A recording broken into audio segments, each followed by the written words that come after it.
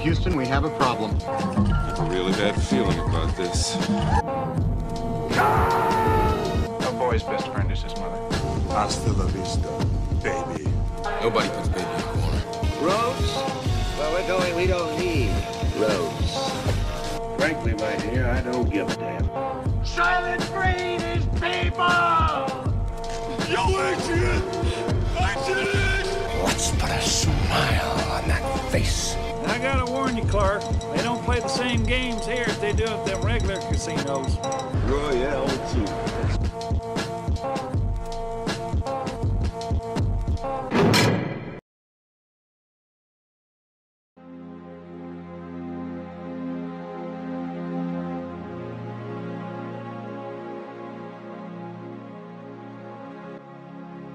Welcome back to Casino Royale with Cheese. My name is Shane. Uh, this is the show where we discuss movies that were number one at the box office exactly 20 years ago. This is episode 16.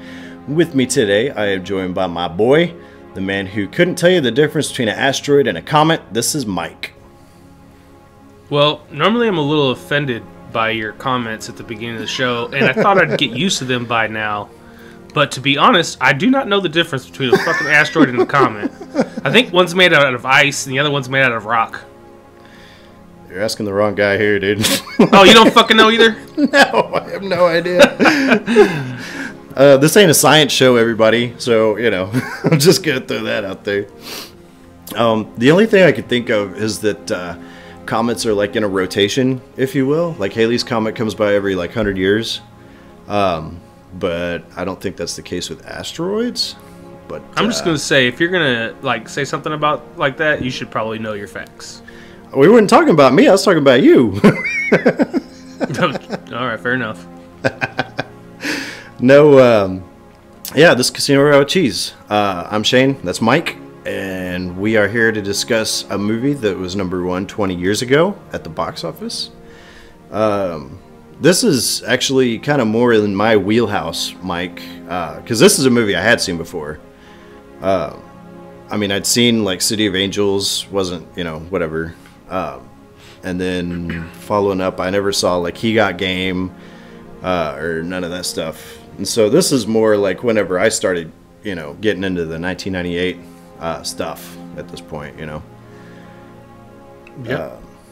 Yeah. Uh, what are we talking about today? We are talking about the porn hit Deep Impact. Deep impact. yeah. There's some deep impacting going on. They ain't talking about Mullers here. dude every time like one of the um you know like facebook feeds or any of those social media things or even back in the day when they would do like email chains and uh they would say like uh give the best title of a movie that would make a, also make a great porn title right. um i always said deep impact Deep impact. That's it. Fair enough. That's good stuff. Um, first off, I want to go ahead and try to discuss this moderately large elephant in this mid-sized room. Um, as everybody that watches this on YouTube well knows, um, I typically will go through and try to edit in like the movie trailer to give you something to watch. I know I don't want to hear me talk without any sort of visual stimulation for an hour or plus an hour. or two yeah Right. And so that's kind of the thing is that typically I would go through and put a trailer back or something like that to for you to watch if you happen to glance over. And uh, anybody that listens to this on a podcast, uh, this discussion here is going to be the only difference that you're going to see. But um, my goodness, Mike is having problems. yeah sorry You're good, man. Um, no, uh, the the whole thing about it is that there's been issues. Anybody that spent more than 20 seconds on YouTube knows that, like, uh, the copyright hits and stuff like that are a pretty major issue for a lot of, of uh, content creators on YouTube. And technically, a lot of that stuff falls into fair use, which I don't know how familiar you are with it, Mike, outside of what I've told you about it. But yeah I mean, a little bit if it's Yeah. like publicly released it's fair use right, that is uh, as long yeah, as you're not using it for profit Right. That's that's uh, you know, public domain or whatever um, stuff like that. Like really old movies, like the Wizard of Oz books are public domain and stuff like that. But um, more so to what we're talking about is there's they have copyright laws, obviously. So I can't take, for example, and get a copy of the Avengers Infinity War and put it on YouTube. That's, I mean, in fair, you know, as well it should be, you know. Um, I didn't create that content and it shouldn't be broadcast over the internet. However, um, there is kind of a niche in there where if you're discussing a movie or something like that and you're either providing like an educational video or like say, you know, we were talking about Deep Impact, and I was showing clips of it because I was like, this isn't the way that comets travel through space or whatever, then, you know, that should fall under fair use, you know, because you're actually creating your own content by like providing a critique or an educational video or even parody falls into that. Um, however, you fall into that weird uh, paradigm where nowadays they don't want you to like YouTube's really started to crack down on uh, this this whole deal with uh, you know copyrighted works and things of that nature. And so it's I was trying to forego it and put up a lot of copyright uh, hit disputes and stuff like that, but it actually last week wound up delaying the video. And so I've decided basically at this point instead, it's just going to essentially be like a title card that you're going to see whenever me and Mike are actually doing the discussion on So the what YouTube happened? video. Well, so whenever I put up, usually when I put up a video, um, there would be an issue where it would say, like, this video is being restricted from viewing in a certain country, or, you know, um, like the owner of this material has put like a, they've monetized this video for their own purposes and stuff like that. Um, and then last week, whenever I posted He Got Game, it was said this video is straight up blocked altogether.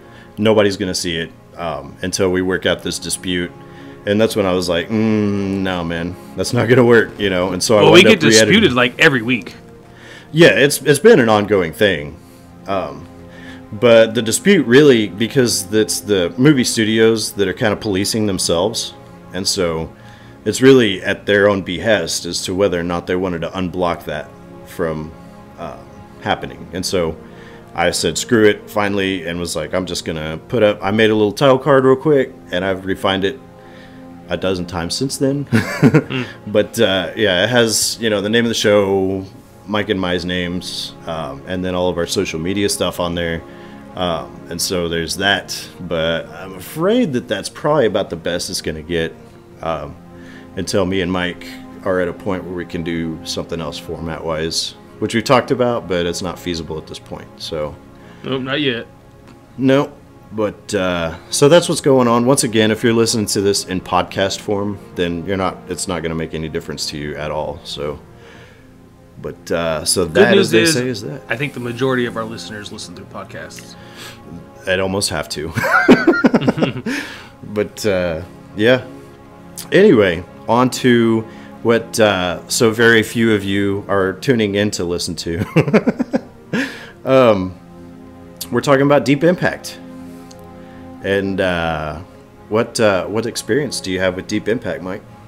So again, um, my memory just serves me.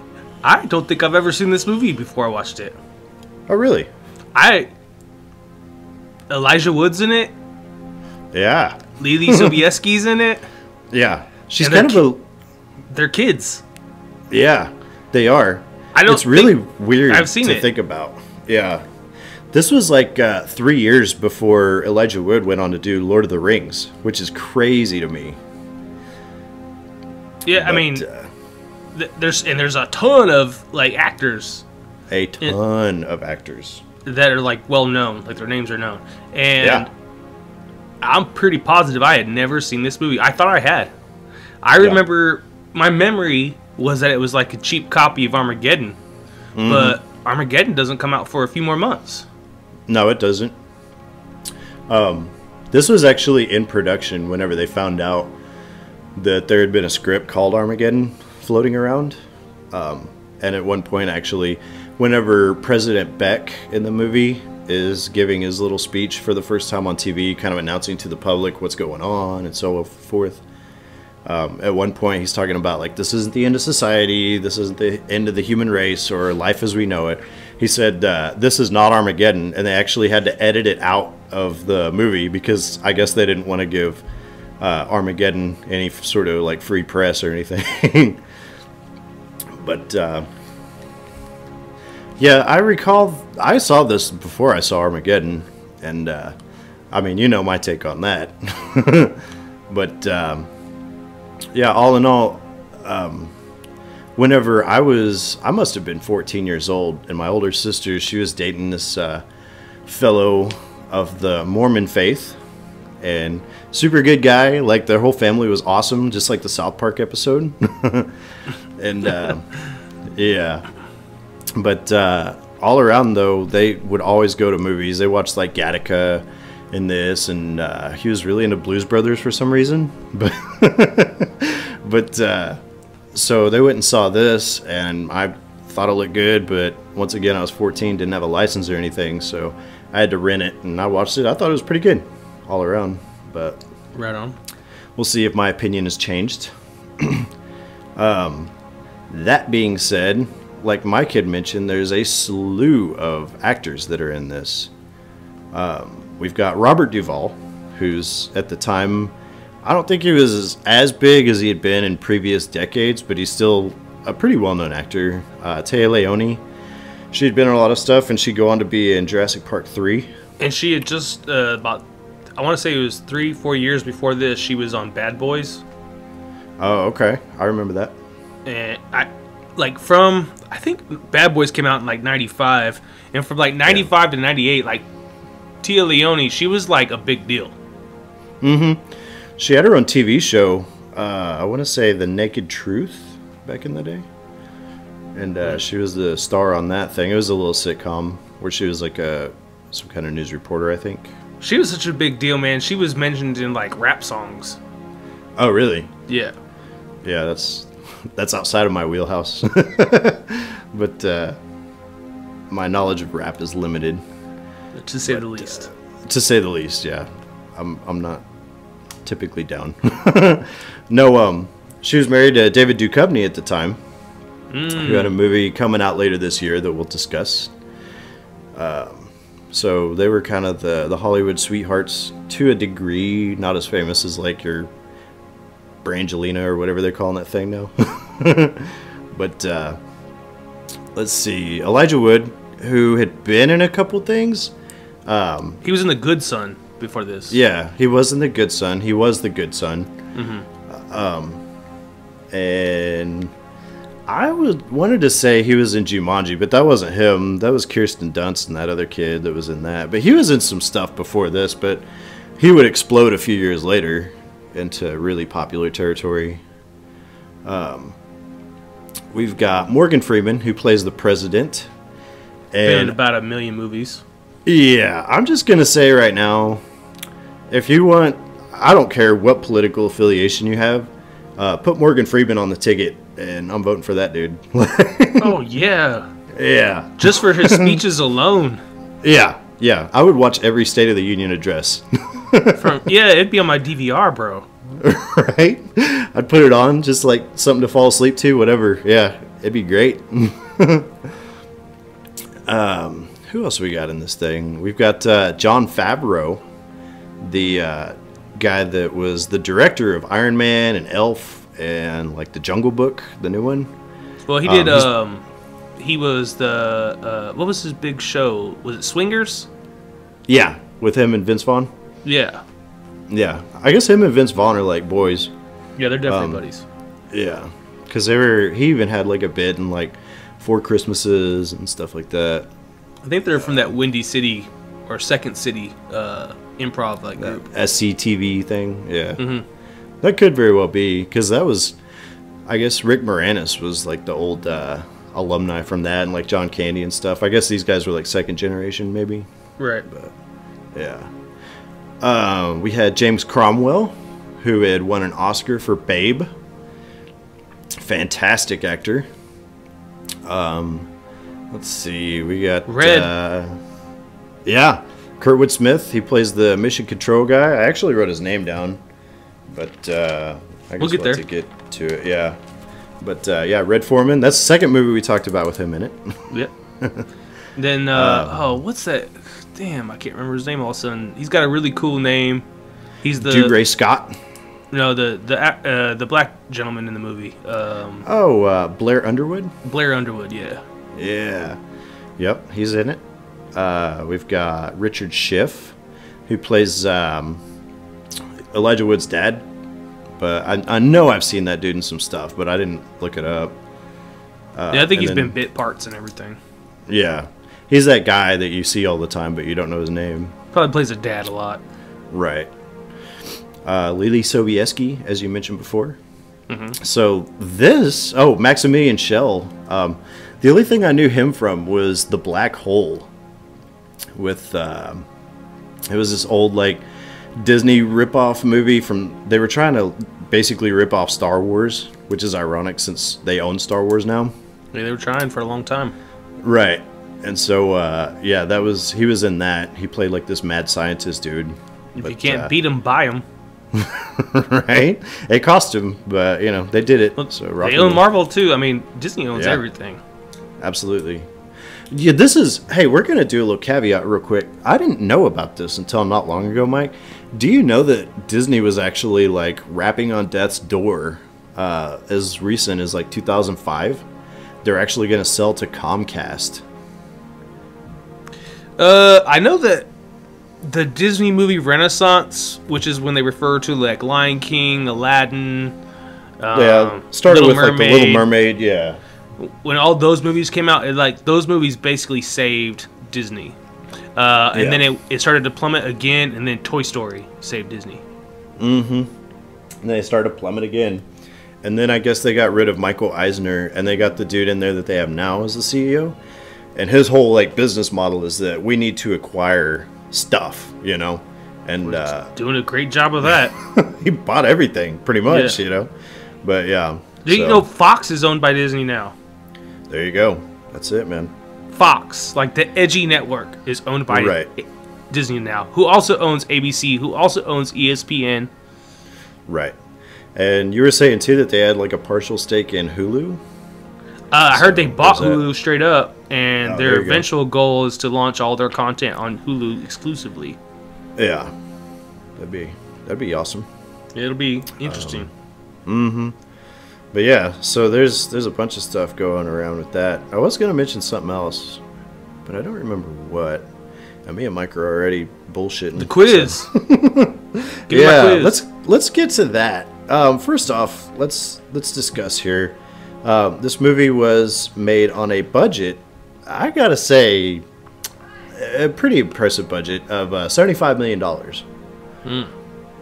Considering all the visual effects and all the star power that was in this thing, that's pretty impressive, really. Um, how many weeks would you guess this was number one, Mike? Did it make two weeks? Are you asking or are you telling? I think that's my guess. Two weeks. Yeah, you're right. It was two weeks exactly. All right. Yeah, so one in the book. Um, along with that, um, what would you guess its domestic take was overall? Well, last week gave me a lesson in this.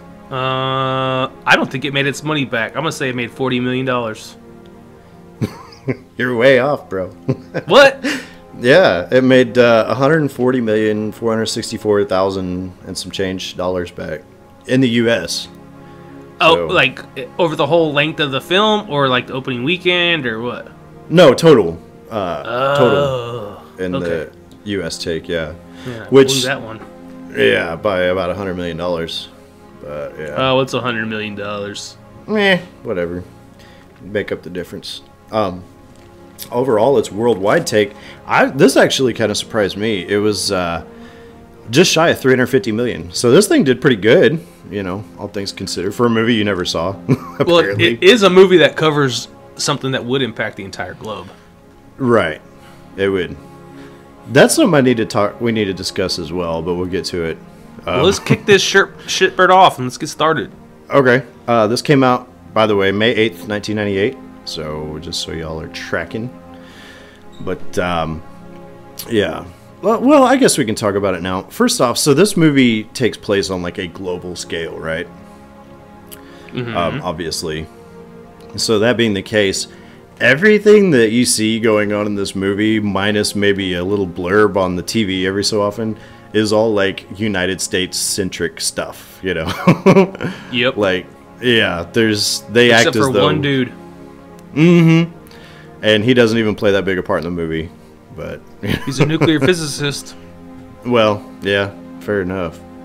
But uh, that's what kind of cracks me up about this. At least with Armageddon, you did get the feeling that I mean, you could see like parts of China and stuff like that in peril and things of that nature, which we'll discuss later this year. But with this, they don't spend any anything that happens in this movie is in the U.S. completely, you know. But uh, anyway, the the film opens and uh, We're in mid-credit- Richmond, Virginia. yeah, before that in the credits, we find out this is produced by Spielberg. So there you go. But uh, yeah, it's in Richmond. Um, there seems to be some kind of, I guess, a school astronomy club. I call it Star Class, but yeah, Star we find Class. out we find out later it's an astronomy club. Yeah, that's where all the cool kids hang out, is in the star class. Yeah. yeah, there's uh, being the astronomy nerd. That's a panty dropper there, man. but It worked for uh, Theo. for Leo, yeah. Um, Leo is Elijah Wood's character, by the way, and he's flirting with Sarah, his little uh, not girlfriend, Lily Sobieski. yeah. And then we get this teacher that's kind of a douche bag. I want to say. no, he's not. He's a teacher. This is an extracurricular activity. Like, give the boy a chance to do his thing. you No, know. he's not there to chaperone dates. He's there to teach kids, man. Okay, fair enough. Um, do you think that the school provides the telescopes, or do you got to buy your own for this? I don't know. They look pretty high dollar. That's what I'm saying. Because I know that if I was running a school, I'd be like, we'll get one, and y'all can take turns. Right. yeah.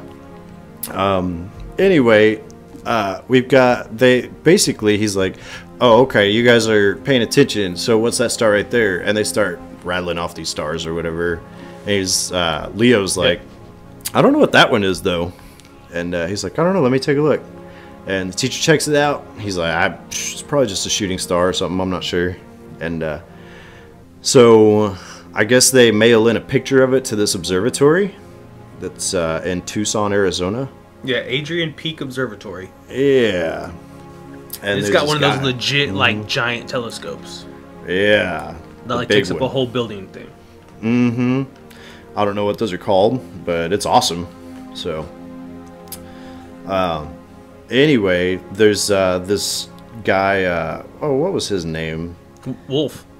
Wolf. That's it. Yeah. That, I don't think they say his first name, but uh, He's like Doctor Wolf or something. Mm.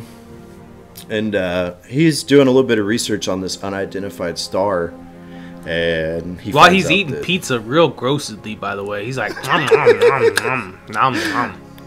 Dude, that pizza looked like ass in general. I It's ain't all lie, man. floppy and gross. that thing looked like it'd been there hours.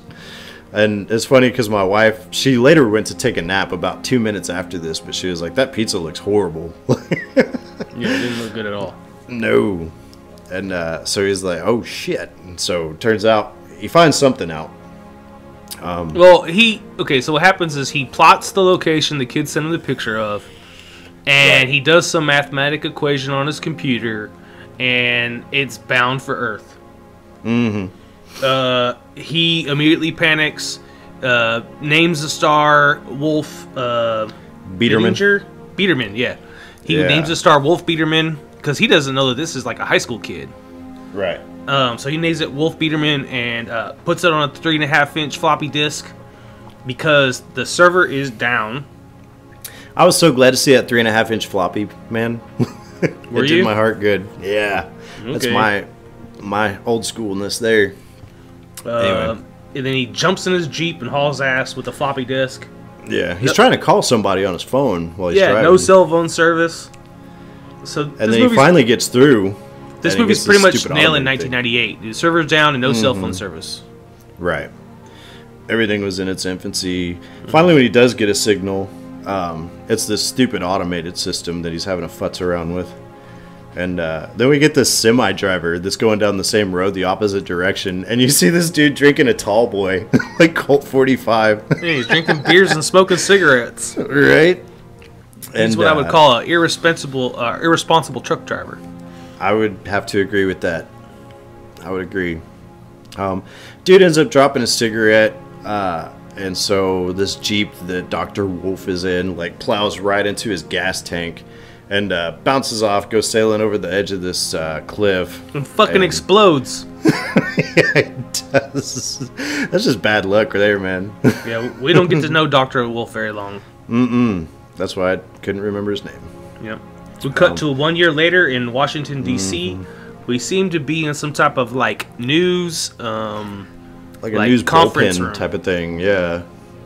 Um, and these guys are just sitting around BSing. They're talking about uh, this. Uh, oh, what's the Secretary of of uh, Treasury's name? Yeah, Alan. Oh man, I had it a minute ago. It's uh, it doesn't matter. Alan Rittenhouse. Alan Rittenhouse. That's it. Yeah. And uh, so anyway, yeah, they're talking about how this guy all of a sudden resigned um, from his role in the presidential cabinet, and uh, basically uh, we meet Jenny Lerner, played by Téa Leoni, and she has a little friend there named Beth, that's also a reporter, I guess, and she's going to try to find out as much as she can about this thing because they have apparently gotten information that um, that he resigned because of this affair that he was having with somebody named Ellie. She got one of his staffers drunk over breakfast. That's what it was. Yeah. the staffer's been trying to bang her for a while, so she manipulated him over breakfast, and he spilled Mm-hmm. some beans. That's what it was. We Yeah. cut to to Jenny drinking with her mom for like brunch. Yeah. Like Find out- Yeah. Yeah. find out the Jenny's got a new stepmom who's two years older than her. Did you recognize who the mom was? yeah, I may definitely recognize her. We've seen her. We've talked about her. It was uh, Max from Mission Impossible, the old British lady. Oh yeah, Yeah. But uh, yeah. So yes, I get the. So they don't say it outright. They kind of do, but you definitely get the impression that the dad had had some sort of a relationship with this other woman that he's now married to, and that he basically left the mom high and dry. Um, so that's what's going on with that. Um, but the mom's noticeably upset about it. Um, it's just kind of like passive aggressive dialogue that she has. she's pissed. Yeah, she is pissed. We cut back So- to Jenny talking to uh, like, Like a uh, secretary? Secretary, yeah, she's a secretary for the Secretary of Treasury. secretary squared, Yeah, And she- secretaryception. she's talked about how she's pretty sure he was having an affair. She names the woman that he was having an affair with. Her name is Ellie. That's it. Uh, Yup. She says that he had his own like private phone line. He would shut the door every time she called, uh, and that she's pretty sure the president knows about it because he heard her. He over she overheard the Secretary of Treasury talking to the president about Ellie. Right. But I guess this uh, Secretary Rittenhouse, he's basically left saying that his wife has some type of illness, and so he wants to be with his family, Right. and that's basically the only thing that they offer, information-wise. Yep. And But- then the Jenny, being the due diligent reporter, she heads immediately to a boat that uh, Yep. Mm-hmm. the, the Secretary of Treasury owns. Meets the daughter Lily, meets the Secretary of Treasury, and he says that uh, my wife is sick and I resigned to be with my family. Right. I just want to take a trip. We're gonna go. And she looks, and he's like hoarding canned food and stuff like that. And she's like, "This is weird, man." You know. Right. And so yeah, um, she She's talks to him, and she's like, "Right, yeah." And she's like, "Well, why don't you tell me about Ellie?" And he's like, "Uh huh." And so uh, he's like, "Oh, you think you're a reporter, so you're just gonna break the story, huh?" And he's like, "Well, this is the biggest story in the history of the world, you know. But Right. I'd appreciate if you didn't, you know." and uh, Sheila's obviously at this point like bewildered because she's like, politicians have affairs all the time. It's not. I mean, it's a big story, but it's not that big, you know. Yeah, she thinks he's like pretty big headed. Yeah. And uh, so um, he's being, I wrote suspiciously sinister about the whole thing. Um, but then whenever she is driving back, um, she actually is recording. She's like, maybe it's the president that's having an affair on like her little recorder with the private phone lines and all that stuff. And maybe he just took the fall for the president, you know, whatever. And um, all of a sudden she gets rear-ended. Um, and not in the way that you're thinking. Her car gets rear-ended. Deep impact. There you. That's what the whole movie's about. Is her her uh, wreck that she had. but uh, so there's three cars that like surround her, and she's like, okay, okay, okay, and uh, basically they pull off onto like an abandoned uh, uh, exit ramp, exit ramp, yeah. And they just run over, grab her. They say, FBI, come with us, and they throw her in the car. They haul ass to wherever they go to, and she meets Looks some like guy a who's like, somewhere. But yeah, yeah, he- she meets some guy eating his lunch, and shortly after that, we meet Mr. Bennett, aka the President of the United States of America, played by Morgan Freeman. Mr. Beck, President Beck, actually. Oh, Beck. Yeah, Hmm. Okay. just like the singer. He's a loser, baby. All right. Um, yeah, he wants her to postpone the story that Two she weeks. has picked up on. Yeah, he says two weeks. He's talking to his boy there. He's like, "You knew that this story wasn't going to stay under wraps as long as we wanted it to." He said, "But you know, do me a favor." He's like, "And don't break this story." He's like, "It seems like you've got me over a barrel." But I promise you that's not the case, you know. so he says- agrees with her, or he asks her, and she agrees to wait 48 hours. Right. And he said that if you wait, then I'll give you the first question at the press conference. And she's like, okay. Well, I'll give you the fir- the center seat, second row, and then she requests for the first question. That's what it was. Yeah. Um, we cut to her doing some research back at the newsroom, and pretty quickly she figures out what the hell Ellie might be. Right. Um, she, she finds figures out it's not a name. But yeah. Right. So she she uh, Google searches the acronym ELE, and Right. it directs her to a UC Berkeley website, which uh, Mm-hmm. uh, talks about an extinction level event, Right. and it showed pictures of like asteroids and meteors and comets and shit. I thought it was funny um, because whenever she's talking to the president, she says, I'm, uh, he says, uh, you know, we're interested in the best interest of the public. And she's like, wasn't the truth in the best interest of the public? And I was like, oh man, when's the last time a reporter actually gave a crap about the truth, you know?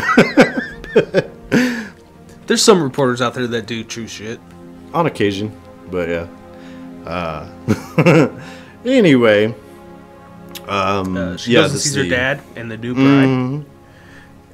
the dinner does not go well, and she doesn't want to tell him what she knows, but she's obviously rattled at this point with uh, what's going on. Well, they give her a pair of earrings, and uh, they said something to the effect of like, "Well, you know, life goes on," and like for her, laughing, yeah, Oh, because for her, she she kind of thinks she knows what's going on, and so she doesn't think life is going on, and Right. she interrupts her dad to tell him, "You need to get back with mom." right. Hey, even it is kind of nice because she actually talks to the new wife, and she's like, "Chloe, this isn't. I'm not taking a shot at you here, but you know, mom's alone. She doesn't have anybody. Dad, we need to go to mom. You know." And so, uh, yeah, um, yeah, it's weird because they like go to do this toast, and she just like takes it to the face and stuff. like, doesn't even bother. her. Because she chugs a martini. Yeah, and the dad's like completely put off. He's like, she's being a total bitch right now. Right. know? Yeah. But uh, yeah, so her little friend Beth, they go to this press conference, and uh, her friend's like, "Okay, well, let's go find our seats," and she's like, "Okay," and so she heads up to the front row. Her friend's like, "What the hell?" Well, the FBI guy she met in the kitchen earlier like grabs her. Mm-hmm. And he, he's like, "Come up here with me. Your seat's up here." And he sticks her right where the president said, center row, second or center seat, second row. right. Uh, He they ask the media to not ask any questions until he's done with his uh, um, State of Union address, basically. Right. And um he proceeds to let us know that there is a comet the size of New York City headed our way. It is seven miles wide and 800 billion tons. Yeah, quite a big one. Um, one thing that we didn't cover yet, there is a, a plot that you wouldn't think it would have any kind of payoff, but it does. But Beth, uh, her person that she works with, has like a daughter that she like has her at the daycare or whatever at, At the MSNBC. Yeah. But uh, yeah, so the president announces the comet. Um, it's supposed to hit August 16th, uh, a In year about from a now. year, yeah. Yeah. And apparently there is a Russian spaceship uh, that they are. It's not a Russian spaceship. They said it was a ship built in Russia. No, Yeah. nope. Are you sure? Yep. It's a sh- it's a ship built in space. It's built in orbit be- with the teamwork of the Russians and the Americans. I have a, that movie on my computer right now. We can watch it. Oh, I do too. Yeah. Uh, the ship they're calling it the Messiah. Mm-hmm. Um, and then they go through the whole litany of all the astronauts. Uh, We meet the team. Monash. Yeah. There's Monash, and he is the like commander of the mission.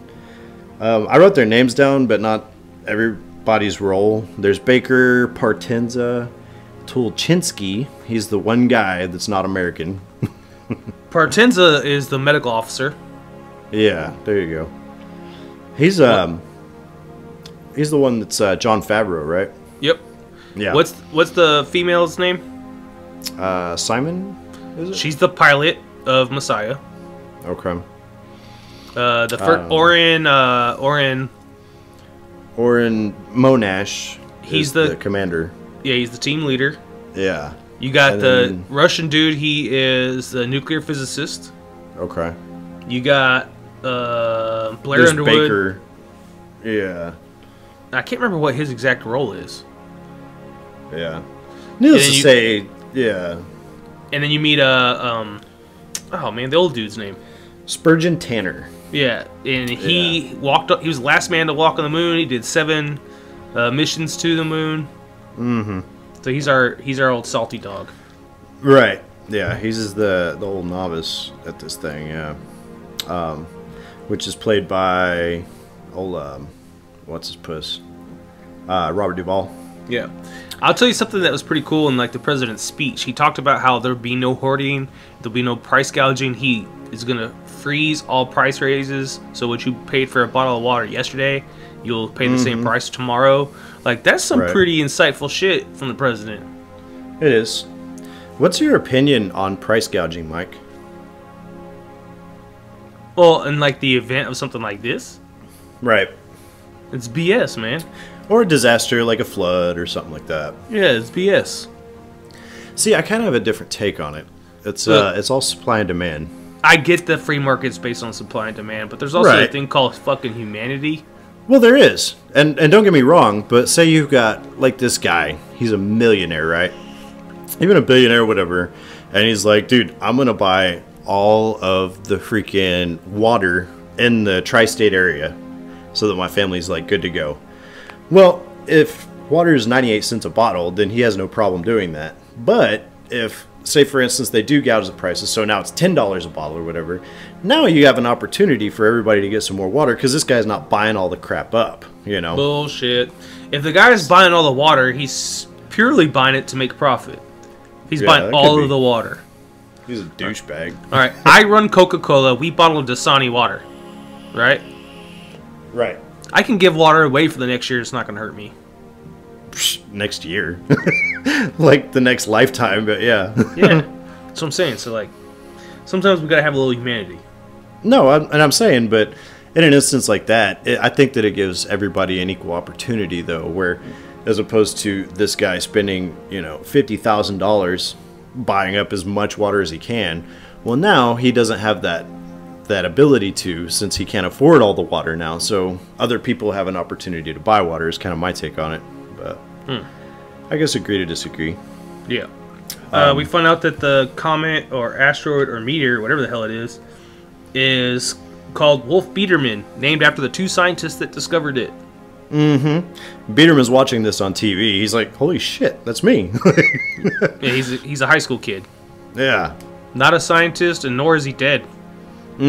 He's very much alive, and that's what the president thinks. Is it was Wolf Biederman was on the name of that envelope, and I guess the wreckage was extensive enough so that they assumed that both people were in the vehicle that exploded at Well, the the beginning of the movie. Yeah, the jeep did fucking explode.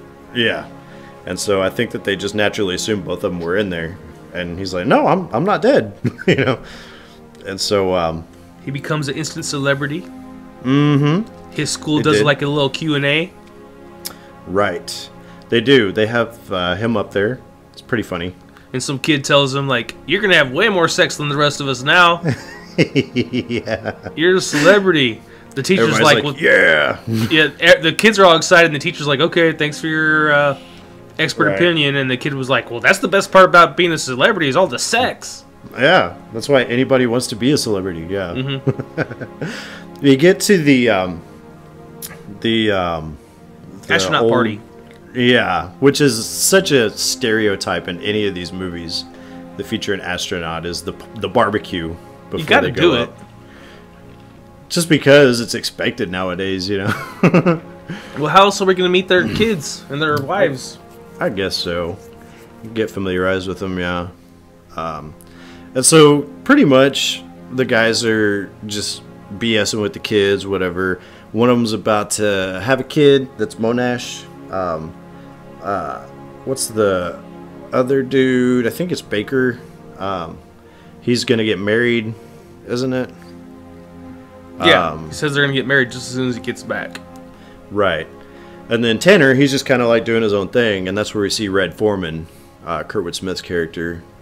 well he's talking And- to his sons Oh, that's what it is, because they're officers in the Navy. yeah they're both naval officers they both went to the naval academy just like he did Right.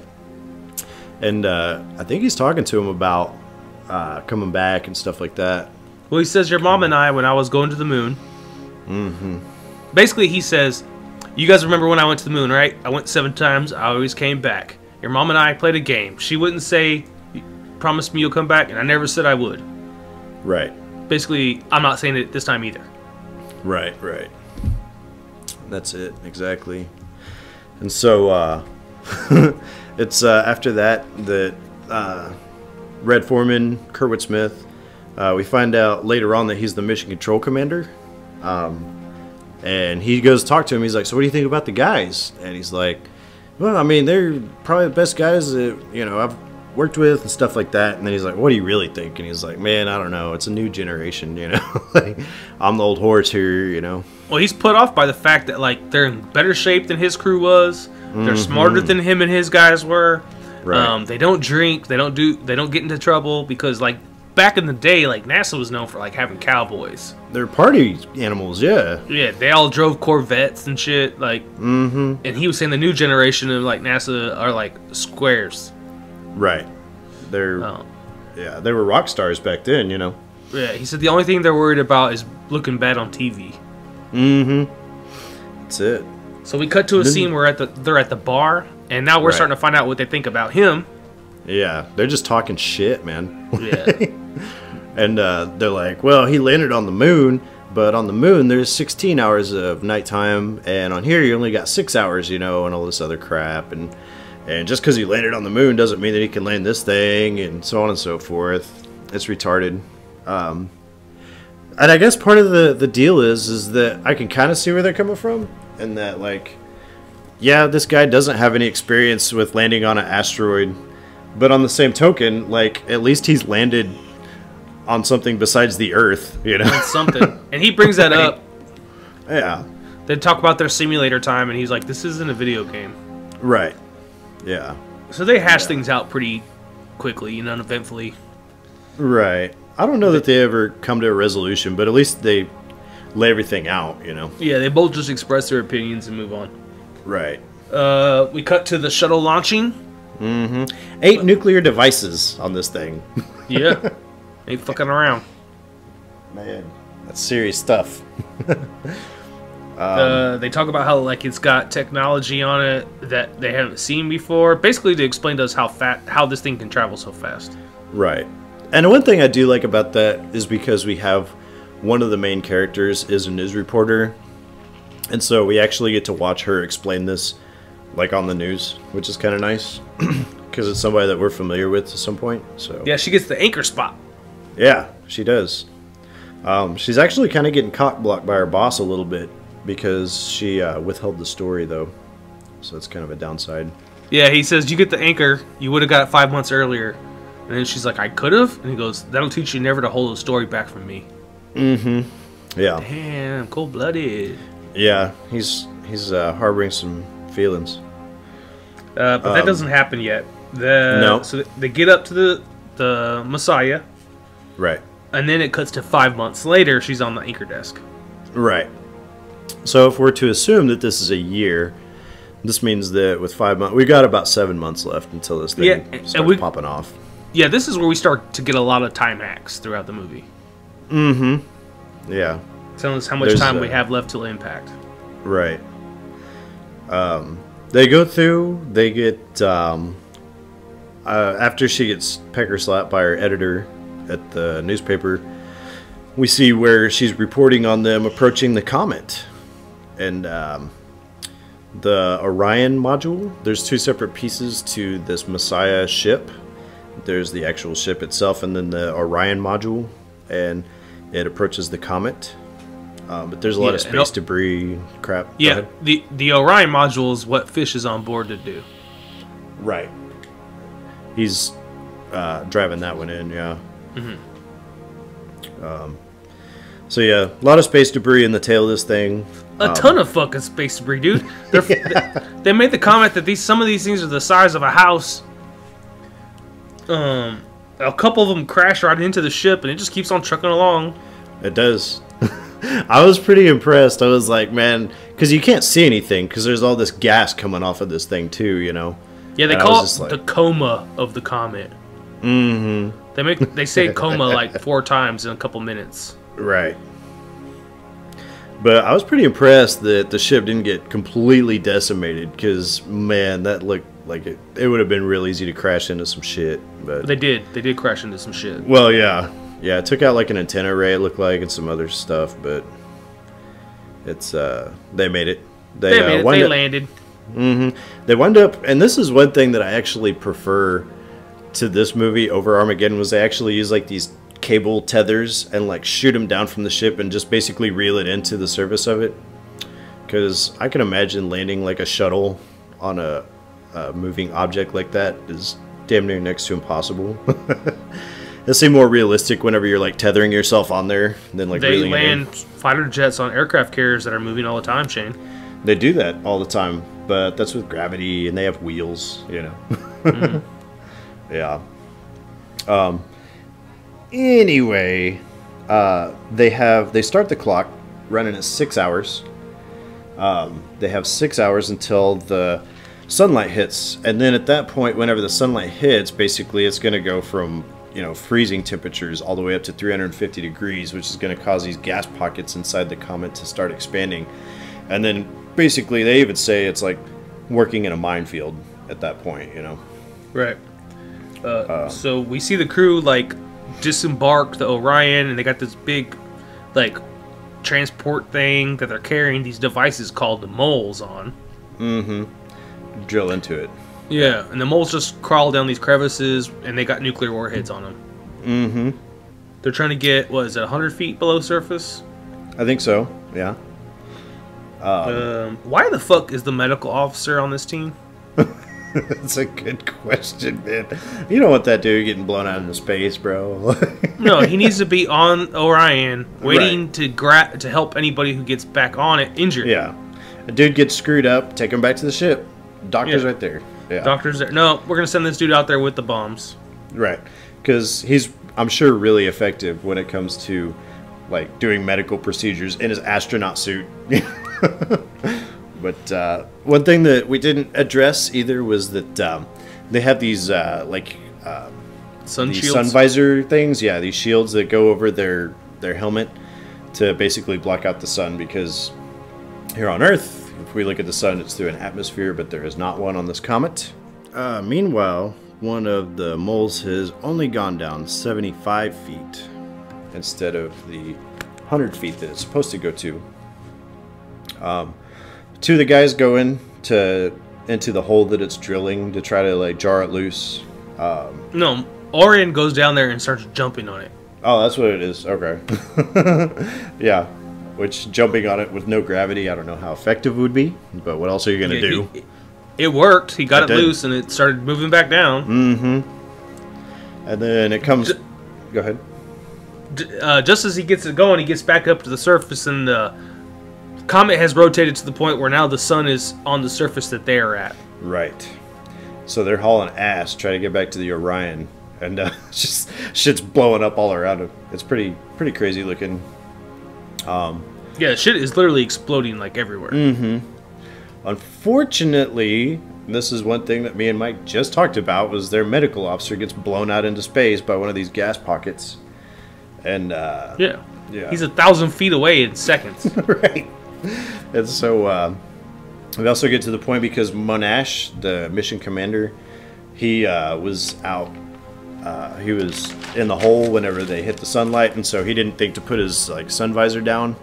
And so like the next thing you know is he's like whenever they all wind up getting blown out essentially, but they're all like tethered down, and so he like gets this full blast of like the sunlight right in his face, and um, so after that he's blind, and he gets injured too. yeah, one of the things I didn't understand too is like, so they were all tethered together Right, because Monash got ejected from the tunnel. He got blasted out of there. right, But they were tethered together, so he's safe. right. And then we hit a gas pocket that explodes, and Bethesda, Perezda, Partenza, yeah. Partenza, Yeah. Partenza gets launched to fucking outer space. Right. Why wasn't he hooked up to everybody else? Oh, he's just the doctor. We're not going to tether him down. he's fine. Yeah, physician, heal thyself. yeah. So Gus is gone. Three guys make it back to the ship, and after a little debate between um, Fish and the Russian guy, they're leaving Gus behind. yeah. The Russian dude wants to go after him. Um, Fish, by the way, is Spurgeon. And uh, they just Yeah. call him Fish, and we find out later why. But uh, yeah, he's like, there's no point. You know, we're going to waste more fuel trying to get him, and it's not going to happen anyway. So, if we go after him, we all die. Right. Um, and so they at one point they actually talk about how they're hoping that the nuke knocks this thing off course, but I got the impression that they're actually more so hoping to destroy it. Um, but maybe it's a combination of the two, like they blow it in half or something like that, and then the two halves will go their separate direction or whatever. But uh, yeah, they uh, said that um, they they go ahead and they blow the nukes. They set up. Yeah, they detonate this thing, detonate it sitting right next to it. They do. It's a bad move. All around. Yeah, it rocks the fuck out of the ship. Like, Yeah. what did they expect was gonna happen? It's a nuke. I'm just saying. Four of them. There's four nukes. Right. Yeah. It's pretty bad. And that's this isn't like Hiroshima nukes either. Like nukes are way cooler in 1998 than they were 50 years before or whatever. so uh, yeah. but yeah, the the uh, Messiah gets rocked pretty badly. Um, and then we get a press, uh, like an Oval Office type deal from President Beck. He says Yep. that they've broken it apart. There's a smaller piece, but and I I think he said it was a mile and a half, but there's still that other one that's like six miles.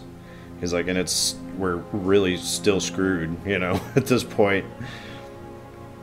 Yeah, Um, we now have two fucking pieces coming towards us. Yeah, one's not as bad as the other one, but after with a combination of the two, we're pretty much done. Um, he does. This is where I think the president has some real balls, by the way. I agree. He goes on to announce that their next they have some plans. One is that US and Russia are going to launch all the Titan missiles at this thing and they're pretty confident they'll succeed. But yeah. just in case they don't, they've been building an underground cave system in Limestone Missouri in caves the in limestone. Yeah. Yeah. That they're calling the Ark. The Ark. and that it's got enough room for a million people to survive for two years, Right. and that they're going to bring seedlings and plants and animals, just like Noah's Ark. Mm-hmm. and uh, 200,000 of the residences, resident residents have already been pre-decided based on like Pre-selected, yeah. Yeah, based on like scientific, medical, military needs, all that stuff. Right. And that the eight, the next 800,000 will be selected randomly through like a lottery system. Right. Uh, nobody over Um, the age of 50. Yeah, you're out if you're fucking 50, bro. Right. that sucks. that Um, really sucks. I'm 39, so I'm like, oh fuck, I'm only 11 years away before I miss my window. The cutoff, yeah. I mean, it kind of makes sense, but it's still, you have to sit back and think, like, it's kind of cold blooded, too. I mean, if you're looking at the species continuing to exist, you're going to want young, fertile individuals, not, you know, 80 year old men running around this thing trying to mall walk through your arc. but, uh, With this fucking jogging suit on. right, they got the, the curved shoes with the curved soles on them. Jesus. So yeah, this is Uh, supposed to. yeah. They got to be down there for two years, and so these people now have uh, a bit of a choice as to whether or not they embrace certain death or spend two years in Missouri. So In the underground. yeah, I would say the Missouri is the worst part of that, but you know, Dude, Um, we live in Oklahoma. not much better. Uh, President so- offers a prayer for their survival. Oh yeah, the presidential prayer. Mm. We uh, at that point, Leo actually, him and his family get a call. They're like, "Yo, you were pre-selected. You're good to go." Yep. And then Sarah's dad, because they're all watching the news report together, and so Sarah's dad's like, "Well, I'm gonna go to my house. They might be calling me right now." Yeah, he's all smiling. Like, Extremely optimistic. Yeah. I want to say he does a good job of remaining optimistic throughout the film. He does. He does. Um, they talk about so we're at this point at four weeks and two days uh, from the Well, impact. Go Just ahead. before that, we're we're back on the um, Messiah, and the crew. They do whatever repairs they have to to sustain the ship after the nukes went off, Right. and they decide to head home. yeah, they talk about there is a radiation shield damage. I guess. mm-hmm. Yeah, and so effectively they're wondering if the ship will even make it back at this point if they did decide to go back, um, or if it'll just burn up in the atmosphere. Yeah, even uh, uh, Sturgill. Wait, not Sturgill. Spurgeon. Spurgeon. Yeah, he tries to make a joke, and the rest of the crew's not feeling it. No, they're not. they do ultimately decide to go ahead head home. Now we're at four weeks and two days Yeah. away from Impact, and we see Jenny and Mom together again.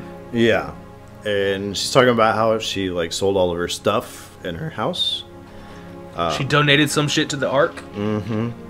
all of her paintings and stuff like that. she says she quit smoking.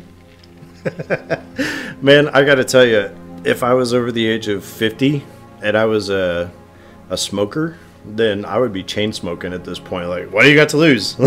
Oh yeah, I'm not stopping at that point. Yeah. I'm gonna have a drug infused binge at that point. I'm just saying, I'm gonna have some fun before I go out. I'm not gonna tell you what I would do with the month out, knowing that I didn't get selected, um, because there might be people who I care about that listen to this someday. Yeah, I don't want them to know what kind of dirtbag I am. that's probably for the best, man. I I know a very limited amount of how much of a dirtbag you are. this is for the best. Um, so as it turns out, the Hotchners, Sarah's family, did not get a call.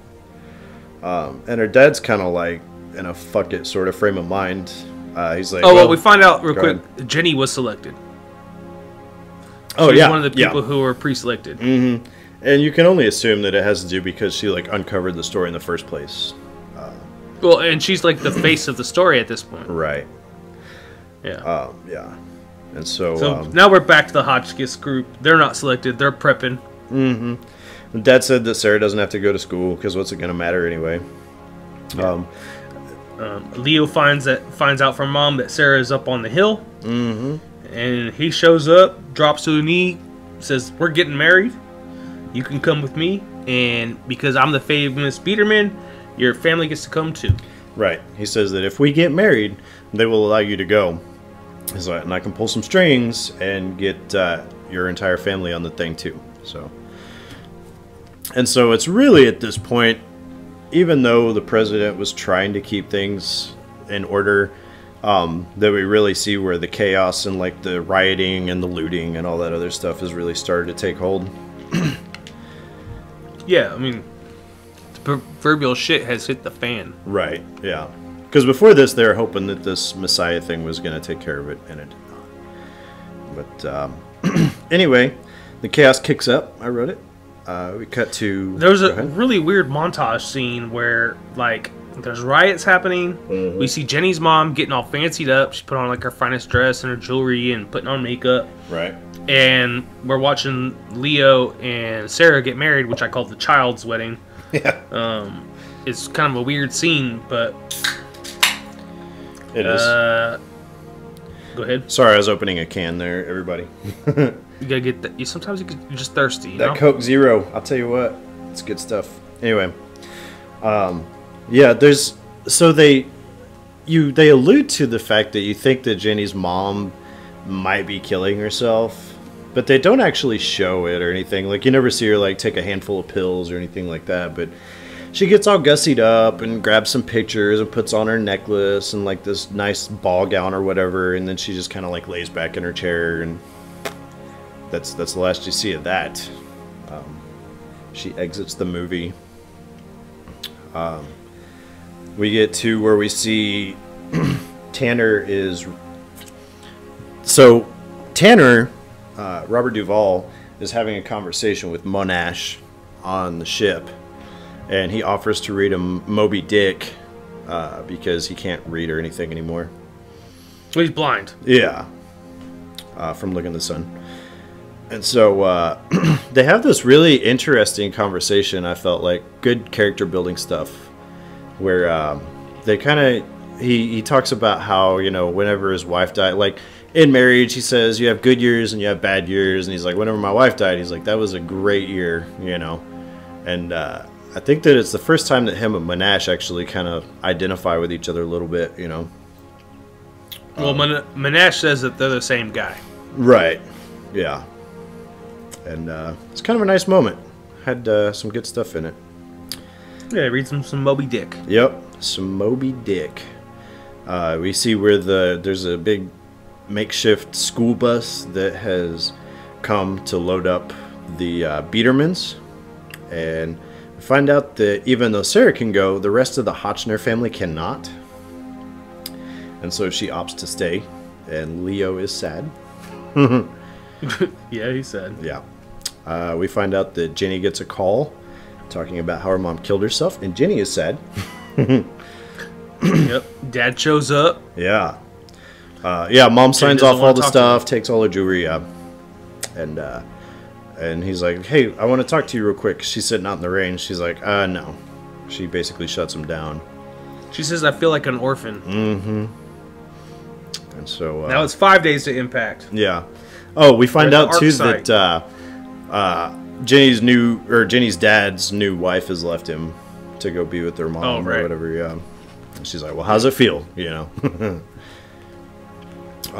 Five days to impact. We're at the Ark site. Um, the buses are arriving that the Biedermans are on. yep. Uh, it's a pretty heart wrenching scene because it's they do the best to show you what the reality of the situation would be. right. There's literally thousands of people at the gates Yeah. trying to get in.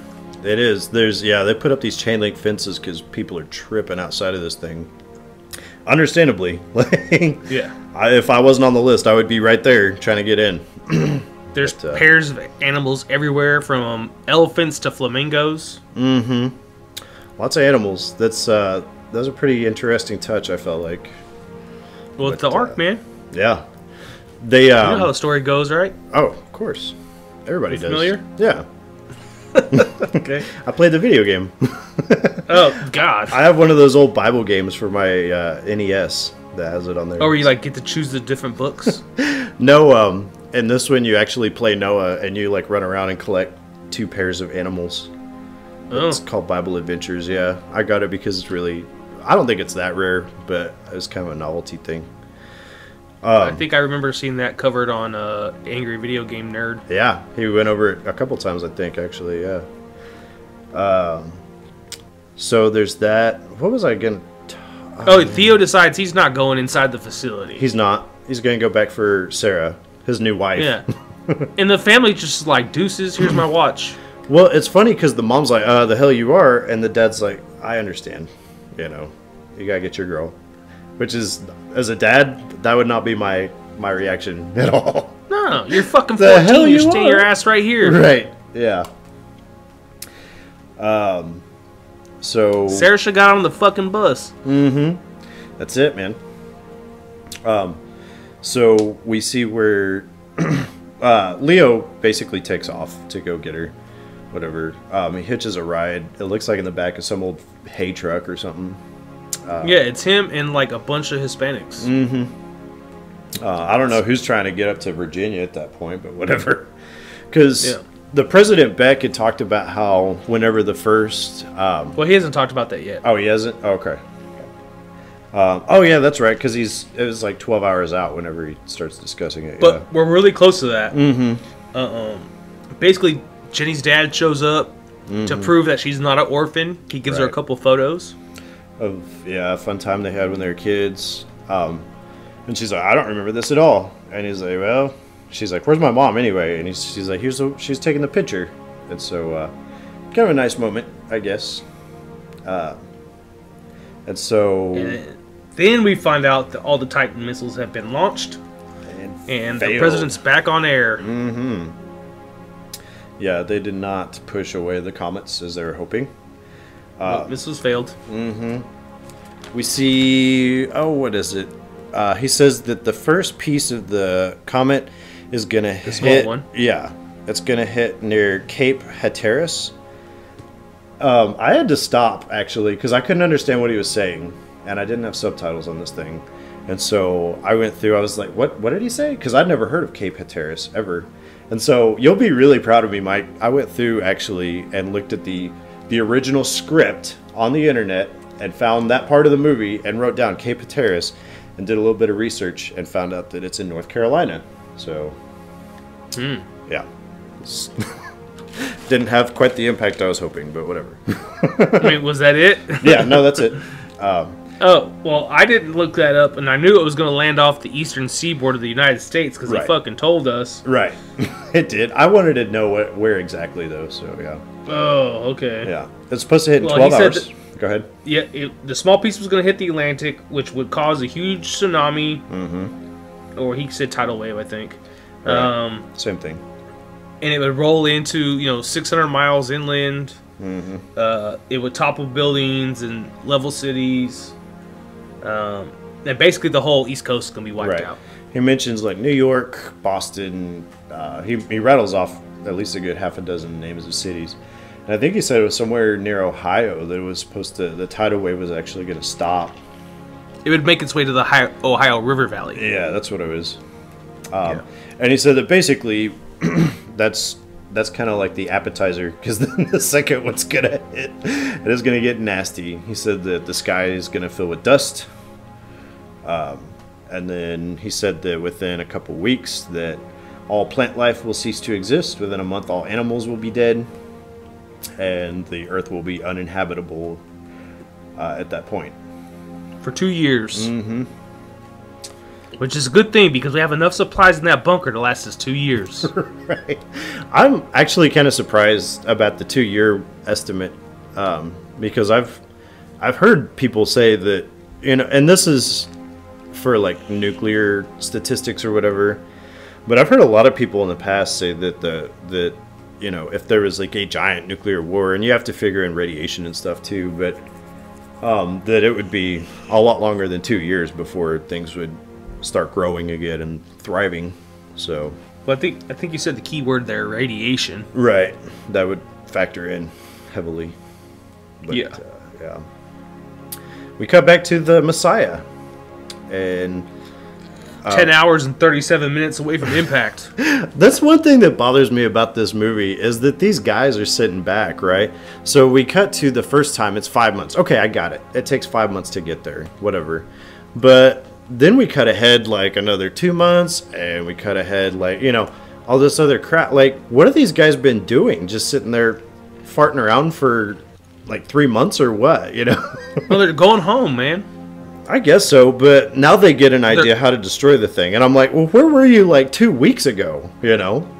Well, they were hoping the Titan missiles would push it off course too. mm-hmm Well, okay.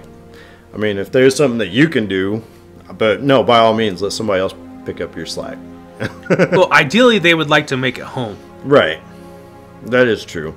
And they also mentioned that the outgassing, uh, where the, the gas pockets uh, erupt, has left a big hole in the comet. So maybe this is the first opportunity they've had. But they decide that they're going to take the last four remaining nukes that they have and fly it into this big outgassing hole. Fly the Messiah in and light it up from inside. Suicide mission, no way to Yeah. return. And they're like, well, how are we gonna get home? And he's, we ain't going home, homie. and the one, uh, the the woman that's on there, she's like, well, look on the bright side, we'll have high schools named after us. I like that. I do too. It's pretty great. Nice silver lining. Mm-hmm. I, I would, I'd actually, I mean, everybody's got to die at some point. I would take that trade off. I think. Oh, dude. Come on. You get to go down in the history books. Yeah, you saved the world, you know. But uh, they MSNBC at this point uh, finds out that they have a slot that's available in the Ark, and so they all draw for straws. No, No, that's not what happens. well, why don't you explain it to us, Mike? Because I was They have a helicopter, yeah, and they have seven seats on the helicopter. They can take six to the mountains of West Virginia, and the other, and they'll take Jenny to the Ark afterwards. I see. So That's for it is. straws then. Okay, so they're just drawing for straws to try to get to the mountains of West Virginia. Yeah, so they could be at an altitude that the first one wouldn't affect them as much. Oh, it's like putting a band-aid on a bullet hole. yeah, for real. I'm just going there to wait to die. yeah. Okay. You get to see the end of the world, I guess. But, um, so yeah, um, so at that point, We the- see Theo is looking for Sarah. right? He steals the dirt bike from Sarah's dad. Mm-hmm. and he drives into a massive traffic jam. As you can expect, I think Yeah. that Well, the president had just told him, told everybody in the United States, if you can get away from the East Coast, do so. Right. And so, uh, yeah, he. I think it's kind of funny. Well, we we see here in just a minute, but uh, we we cut back right after that to where basically uh, Jenny's friend Beth has like her kid, and they're in the MSNBC building, and she like took her to daycare so she could play, and she's like, "What in the hell are you doing?" She's like, "I wanted to bring her here because she had fun, and maybe we're in a building, so the tidal wave won't be this tall, and we we'll be okay." She's like, "Whatever, dude." She grabs her daughter and takes her up to the helicopter, and of course Beth's freaking out the whole time, and uh, she's like, "You're taking my place in the ark with your daughter," and she sends her on her merry way in the helicopter. Um, and Yep. so uh, it's kind of funny because right after that we see where Leo pulls up to like this Ford Aerostar that's maroon colored, and he's like, "Sarah, like that," and then uh, it's. You find out later that it's actually like a GMC Safari, two of the minivans that look least alike. He confused, but whatever. I think we can forgive him. I would say so, yeah. Um, the fact that he found two maroon minivans in this traffic jam is amazing. Dude, this thing's a wall of car, like an ocean of cars. I'm, I'm Yeah. amazed that he found her at all, but of course he's got on that dirt bike, so he's weaving in and out and stuff. So, um. So he does find Sarah and her family, mm-hmm. and they're and her- her parents are much smarter than his parents. Because they immediately are like, "You're going with him." right, They give her like a baby, uh, her Carrier. sibling, yeah, and they're like, "You're carrying, you're taking the baby with you. right. Get out of here." Yeah. Um, and it's kind of sad. There's actually, I thought, some pretty good acting in that scene. Because uh, you could see, like, um, the mom is played by Denise Crosby, who she's been in some stuff. Of course, she was in Star Trek, but uh, she was in um, like Pet Sematary and stuff like that. Oh, that's where I know her Yeah, from. but uh, she's actually, I think, pretty effective in this. She was in an episode of Dexter too, but um, she, uh, I thought she was pretty good, and she did a good job of showing a grief-stricken mother that basically is guaranteed to never see her child again. But Children. mm-hmm, both of them, you bet. Uh, Uh, Jenny, Jenny goes to the her beach. dad at a beach house. Yeah, she goes to the beach that was in the picture, and her dad's there waiting. Um, and then she talks about whenever she was like 12 or something, she took like $38 out of his wallet. yeah. And then he confesses that he dropped her on her head when she was a baby. yeah, it's pretty great. Um, good little moment. It's kind of nice to see him sit back and have that sort of reconciliation where they confess to doing stupid, insignificant crap in the face of demise, you know? Um, Right. So they have a little moment to reconcile, and then all of a sudden we see the, the comet. And uh, this is actually a pretty effective scene, I think. Yeah, I think it's the coolest scene in the movie. I agree. Um, the comet hits, and one thing that I like is the shockwave from the comet. Basically, you can see it's a, a, a space shot, and you can see where it blows back all the clouds and stuff that are around it, which is pretty cool.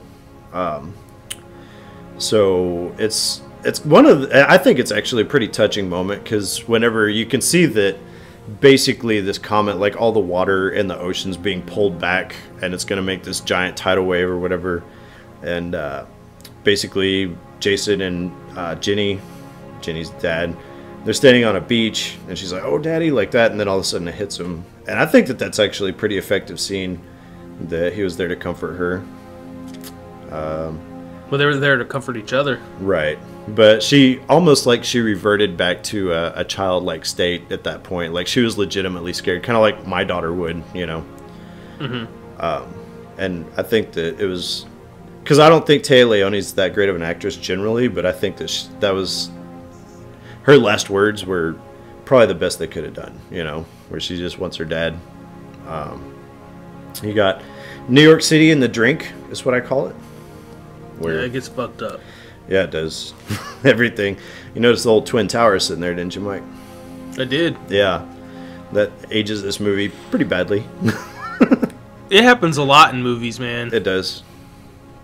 Uh, because like anytime they show New York City before 9/11, Right. like they make sure that those two towers are like displayed in the scene. Yeah, it's iconic. Yeah. So uh, we see where Leo and Sarah have given up on trying to go on the road. They find a trail that's leading up to this uh, mountain on this dirt bike, and he decides he's going to go up this thing. um, the astronauts have an opportunity to talk to their families. Um, however, uh, Tanner, his boys aren't there. They were on active duty. And Monash, they said that his wife and their baby wasn't there to talk to his baby son. And then, sure enough, uh, Monash's wife and kid arrive at the very last second. And it's kind of cool. He doesn't ever get to see his son because he's blind, but he does get a chance to talk to him. And uh, they're kind of describing that he's got like a little rocket in his hand and stuff like that. Well, he's got Baker like uh, telling him what's going on in the picture because he doesn't want his family to know he can't see him. Right, right, right. So Baker's kind of like whispering to him, like he's holding a rocket in his hand. Yeah. Yeah. It's pretty pretty cool little scene. Um, and then after that the Messiah flies into the comet and it goes boom. That's it. Blows it into a million pieces. Yeah. A lot of pieces. And they the president actually said earlier that all the pieces would either bounce off of the atmosphere or uh, burn up whenever they're going into the atmosphere, yeah. And so Yeah, he said they all fell harmlessly. Mm-hmm. Um, he gives us some big speech, and you pan out and see that he's standing in front of like a devastated White House in Washington D.C. the Capitol building, but yeah. oh, is it was the Capitol. building? Yeah. okay. Um, we also And- see that Leo and Sarah made it up this mountain, and like right whenever the tidal wave was gonna hit, like they were at the right altitude on this thing, so it didn't wipe them away. Yeah, not only did they outrun the tidal wave, they were also on top of the mountain just in time for the explosion of the big one. Yeah. Everything happens in America, Mike. Yeah. but uh, yeah, the rest of the world, nobody cares about that stuff. It's all about America, so you know, why try? of course, I don't really feel that way. Uh, anybody from another country that's listening, but I think it's funny that movies in this era had basically that opinion. So, but uh, that pretty much is the end of the movie. No, that is the end of the movie. Yeah, get some credits in there, but that's about it. Yeah. Uh, what was your take, Mike? Is I. Really? Is I. Wasn't Armageddon good? no. Oh man, I can't wait to talk about that. Well, you talked about it five times in this one, so I can tell you're excited. How can we not though? The two are so similar, and they came out the same year. I mean, yeah, no, it's one of them things. Well, I- feel like when we talk about Armageddon, we'll definitely be able to compare it to Deep Impact. That's kind of what I'm Deep wanting to do. Yeah, Yeah. yeah.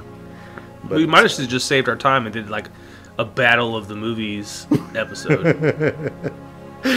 That'll, that's what Armageddon will be, basically. So, I can tell you right now, this doesn't touch the Armageddon soundtrack. uh, I'll give you that. Yeah, because I'm a sucker for some Aerosmith. So yeah, you're right. They even have some ZZ Top and stuff in there, so that's fair. Um, one thing that I like about this, I think, over Armageddon, is that um, they actually show like the the main impetus of Armageddon is that um, you know they're focused on the crew, and we actually get to see a lot of other stuff that's going on with this, like people on the ground and stuff like that in this too.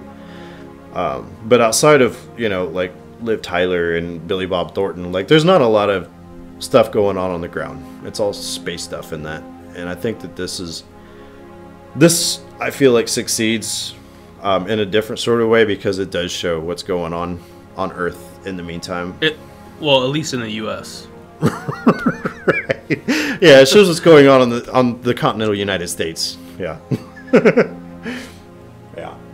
But I don't know. I like this movie, and I think when I watched it as a kid, well, fourteen, um, that's a kid, right?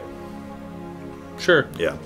But when I watched it then, I liked it, but the whole time I found myself like, I just want to see the the thing hit. You know, that's all I cared about. But in this, I actually like it. I got to pick up on a little bit more of the relationship nuances and stuff like that. Especially, um, you know, like Tanner and uh, Jenny and her dad. I thought that they had a kind of a cool thing going on.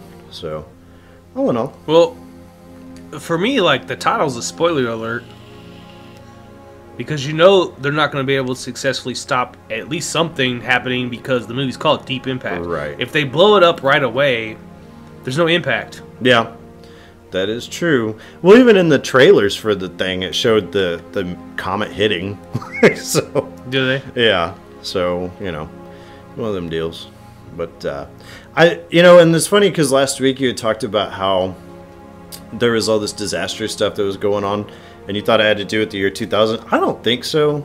I think that it just had to do with the fact that we could use like computer effects, and so they're like, dude, we've opened up this whole floodgate for disaster movies now that we can animate it with computers, you know, and so that's what they're going for.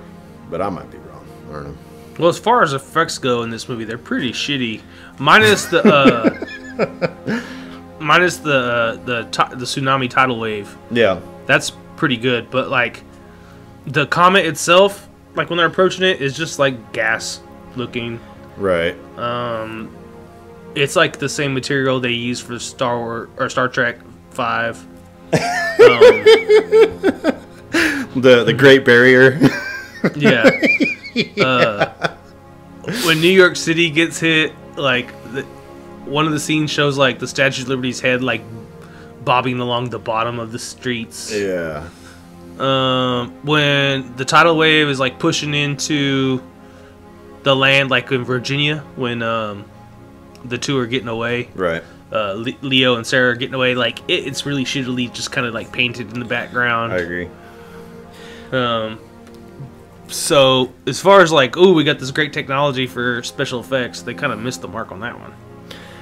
I'll, I'll cut it some slack because it was 1998, but there was one instance in particular where I think it was right whenever they were deciding that they were going to fly into it, and it showed the the comet like flying by the the screen, you know, and it looked so bad. It looked like a paper cutout that literally they just like were flying it across a, a black starscape. You know, I was like, oh, that Right. that looks bad.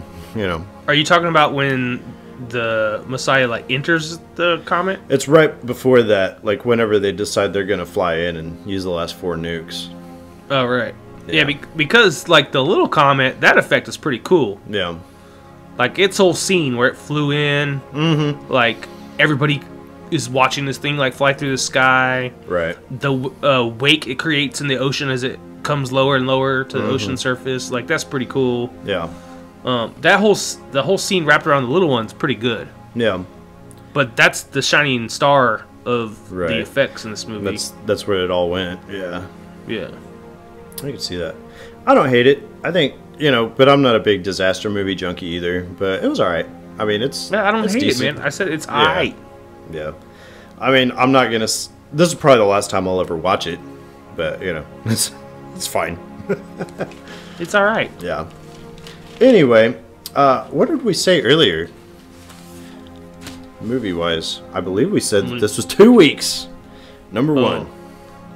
And So we have to pick something to watch next week? we don't. You do, homie. oh, damn. Way to put me on the spot. hey, I told you to start writing stuff down. You tell me Um, to do stuff like that all the time, though. I had no idea. yeah. Well, I I I didn't want to sacrifice the game, so Who's um, running this show? I you're asking me. I don't know. Have to ask our Mm, boss. no, um, I do think because what was the the last one that I picked? I believe was from Dusk Till Dawn. It was. So yeah, um, I was I was gonna say something and remind you about it, and then I was like, mm, no, I I can't, man. You know, I just can't do it. Say it. What? Say what you were going to remind me of. Oh, to to pick a movie, and then I was like, no, I can't because we gotta play the game, the guessing game. But Oh, well, shit. Now I'm on the spot and I don't know what I'm going to pick. Well, I guess you guys will have to tune in next week to see what we talk about. there you go. I love it. That's good stuff. I don't want to just pick a movie on the whim. Right. I want to make sure I make an educated decision here. There you go. That'll leave them a, a little to be continued for next week. Dun dun dun. Next time. but uh, all right. Well, um, make sure you listen next time. Find out what movie we're watching. Um, I also uh, would suggest that if you have anything, we'll post it on our social media when we know what we're going to watch. There you go. A good idea. Uh, if you feel as though you have something that you'd like to contribute, you can email us. Our uh, Yahoo email address is cheesymovie at yahoo.com. You can look us up, Casino Royale with Cheese, or Casino Royale W Cheese on YouTube, Casino Royale W Cheese on iTunes, or wherever you get your podcasts, Casino Royale with Cheese, separate words, on Facebook, Casino Royale WCH on uh, Twitter. And I've actually updated our Instagram. Um, so it has all of the various thumbnails that I've put into place. And it's uh, Casino Royale W Cheese. All one word on there. Yeah, those are definitely worth a look. Yeah, it's kind of fun. I'll put up a new one every week, so it's kind of neat. But um, I think that's it, man. That's all I got, brother. All right, my friend. Well, make sure you join us next time to watch the mystery movie, and we will see you then. Bye.